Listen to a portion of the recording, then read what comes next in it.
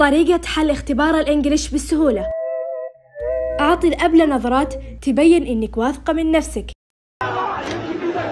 أبدأي بالحل. يا ربي طيب إيش إيش أحل؟ إيش أحل؟ أنا ما ذكرت ولا شيء ولا أعرف أحل. لا تفكري كثير وأبدأي. حقرا بقرا قال لي عمي يعد العشرة واحد اثنين ثلاثة أربعة خمسة ستة سبعة ثمانية عشرة. قلبي ارتحت لذا بو. السؤال اللي بعده خير الأمور أوسطها.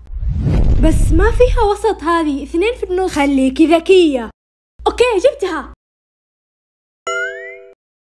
طيب علميني كيف بسوي السؤال هذا؟ في له كتابة. انسخي السؤال وعيديه مرة واثنين وثلاثة. كل ما عدتي أكثر كل ما أخذتي الدرجة الأعلى. خلصتي؟ مبروك عليك الرسوم. تستاهلي ما حد قال لك لا تذاكري.